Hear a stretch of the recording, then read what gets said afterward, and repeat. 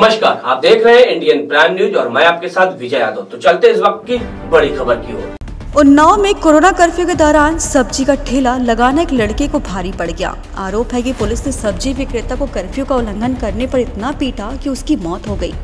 घटना की जानकारी जब स्थानीय लोगों को हुई तो सैकड़ों की संख्या में लोग सड़क पर उतर आए। लोगों ने उन्नाव, लखनऊ हाईवे पर सब रख कर चक्का जाम कर दिया। पाँच घंटे तक चले इस हंगामे के बाद एसपी ने आरोपी पुलिसकर्मियों को सस्पेंड कर दिया। एसपी उन्नाव शशि शेखर के अनुसार परिजनों की तहरीर पर कोतवाली में आरोपी सिपाही विजय चौधरी और होमगार्ड सत्यप्रकाश के खिलाफ हत्या का मुकदमा दर्ज कर लिया गया है। मुकदमा लिखे जाने के बाद प्रदर्शनकारी धीरे धीरे घर चले गए। रात करीब 10 बजे पुलिस ने सब कब्जे में लेकर पोस्टमार्टम के लिए भेज दिया। मृतक के परिजनों का मुआवजा संबंधित मदद के लिए जिला प्रशासन के ज़रिए आश्वासन दिया गया है। मामला उन्नाव के मोहल्ला भटपुरी का है। यहाँ सत्रह साल का फैसल घर के बाहर सब्ज़ी बेच रहा था। आरोप है कि दोपहर में नगर पुलिस चौकी का एक सिपाही और होमगार्ड उसके पास पहुँचा और कोरोना कर्फ्यू के नियमों का उल्लंघन करने की बात कहते हुए फैजल की पिटाई शुरू कर दी।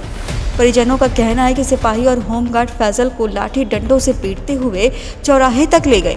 फिर जीप में डालकर उसे कोतवाली ले गए। जीप में भी लगातार उसे पीटने का आरोप है।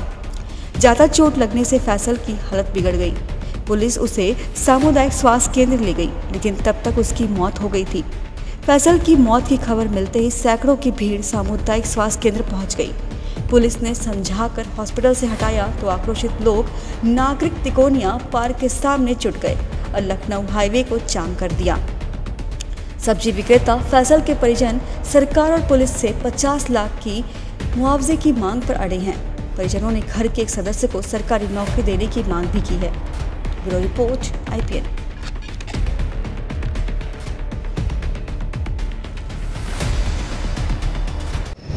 थाना बांगर मऊ में लॉकडाउन का अनुपालन कराने के लिए आज एक व्यक्ति इस थाने लाया गया।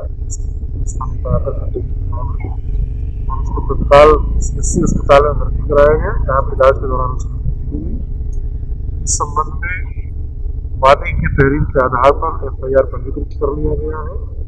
इसमें दो आरक्षी और एक होमगार्ड को नामित किया गया है। तीनों को निलंबित कर दिया गया है और इसमें अग्रिम विचारात्मक कार्रवाई हो चुकी है। Thank you.